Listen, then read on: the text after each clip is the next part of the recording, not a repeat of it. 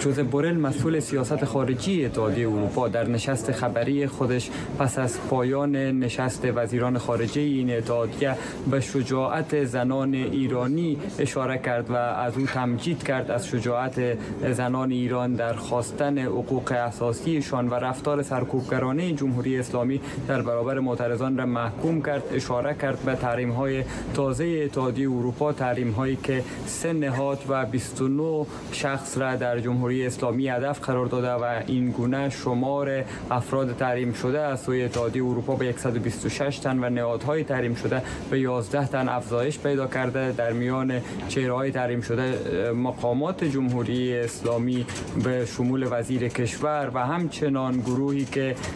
مسئولیت بازداشت منجر به قتل مهسا امینی را داشتن شامل هستند و نهادهای تحریم شده هم شرکت ابراروان شرکت تعاون بسیج و همچنان شبکه انگلیسی زبان پرس تیوی هست. در مورد تحریم مقامات ارشد سپاه پاسداران جمهوری اسلامی هم آقای بورل اشاره کرد به این مسئله که مقامات سپاه پاسداران به دلیل نقض قواعد حقوق بشریشان پیش از این هم در فهرست تحریم ها قرار داشتند و در مورد تروریستی شناختن سپاه پاسداران گفت که چون این تصمیم باید در سطح ملی در از کشورهای عضو گرفته بشه و نیازمند یک حکم قضایی است. برای این مسئله و همچنان تاکید کرد که اتحادیه اروپا خواهان توقف روند کمک ایران و ارسال تجهیزات به روسیه برای جنگ اوکراین هست و گفت که شواهد کافی در اختیار اتحادیه اروپا است که به ابعادهای ایرانی در جنگ اوکراین توسط روسیه استفاده میشه و چون این روندی باید هر چیز زودتر متوقف بشه. همچنان آزادی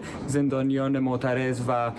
راه اندازی تحقیق مستقل در مورد قتل محسا امینی جز خواسته های دیگری بوده که اتحادیه اروپا در کنار فرست تعلیمی اونا را مطرح کرده.